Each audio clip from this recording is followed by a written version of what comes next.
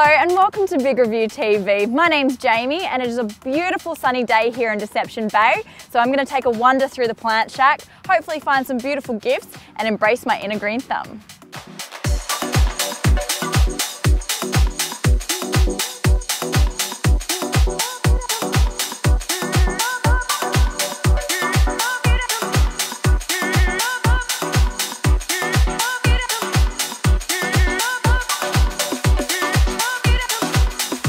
What a really lovely family owned business they have here. Really gorgeous plants. I managed to find a gift and I also got some ideas for my own home. So if you're ever in Deception Bay, please go check out the Plant Shack.